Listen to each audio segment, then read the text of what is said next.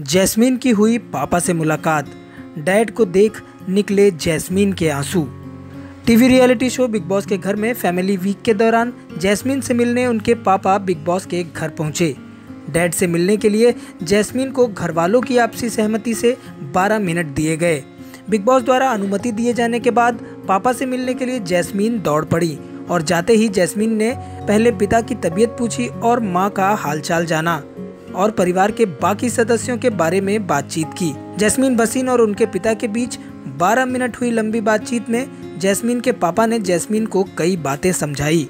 जैसे, जैस्मीन अपने क्यूटनेस के लिए जानी जाती है, लेकिन बीच में जिस तरह से उन्होंने अपने गेम में बदलाव किया, वैसा वो बिल्कुल ना करें, इस तरह की सलाह डैड ने दी।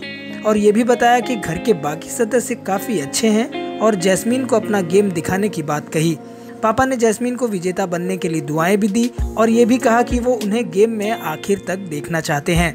राहुल वैद्य और अली के चेहरे के एक्सप्रेशन को देखकर ये लगा कि जैस्मीन के पापा ने इन दोनों का भी ज़िक्र अपनी बातचीत में किया है। वैसे आपको बता दें कि सिर्फ़ 10 मिनट और दो सदस्यों के परिवार वालों की मुलाकात अब बची हुई है।